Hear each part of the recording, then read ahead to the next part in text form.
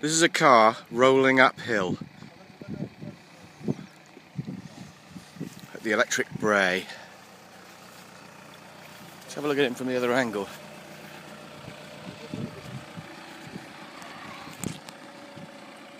And he really is rolling uphill.